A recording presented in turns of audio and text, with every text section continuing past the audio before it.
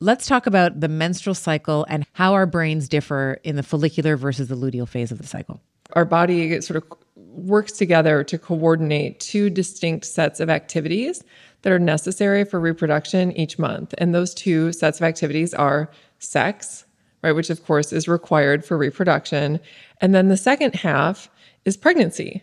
And so our brain and our whole body sort of gears together within the course of a single menstrual cycle to work together to solve each one of these two problems. So uh, during this time when estrogen is the dominant hormone, our brain and our body is all working together to do everything that's necessary to attract mates, to be able to better tell the difference between high and low quality mates. There's a lot of reward value in rewarding things like social activities and potential partners and women tend to have higher sexual desire. And so that's the first half of the cycle, the first 14 days when estrogen is the dominant hormone and estrogen coordinates activities related to sex and attraction.